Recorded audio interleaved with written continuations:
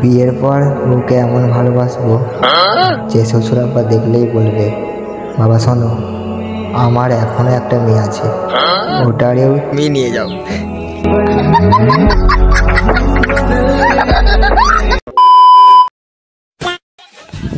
আঠেরো থেকে উনিশ বয়সের মধ্যে যদি তোমার ভালোবাসা পূর্ণতা পায় তাহলে তোমাকে রাজমিস্ত্রি হওয়া থেকে কেউ আটকাতে পারবে না।